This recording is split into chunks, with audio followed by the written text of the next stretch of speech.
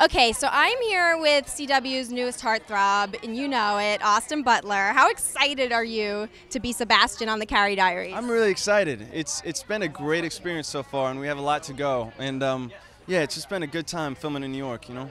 yeah. Now I have to ask you: Are you a Mr. Big or an Aidan on the Carrie Diaries? Are you a bad boy or a good guy? Uh, it's it's more of the Mr. Big, I'm afraid. Yeah. I think that's a good thing, though. Is that a good thing? I, he did pretty good. Yeah, he did. I think he did. Yeah.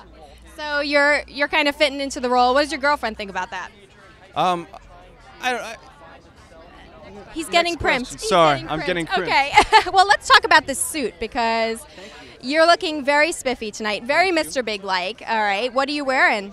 it, it's All Saints actually. See, I know this. Um, a buddy of mine. I like yeah. how people are pulling and tugging at you. Yeah, no, that's just how it is. It, it's so weird after being on set since I was little. It's like you don't even notice that anymore. You're just getting pulled every which way. Right. right. Yeah. So um, yeah, it's All Saints. All right. like well, you're looking good. Looking good, representing. Now, or how long have you been in New York? Is this new for you? This whole Yeah, scene? this is new. I've been here about a month now. Okay. And so I'm, I'm getting used to all the different boroughs and, and like going around and riding the subway and everything. It's been really great. Yeah. Well, it's definitely a great place. I think you're a musical guy, right? You kind Yeah. of you're into Yeah, the for sure. Now, do, are we going to see any of that on the show? Any of that come out? Any of your talents?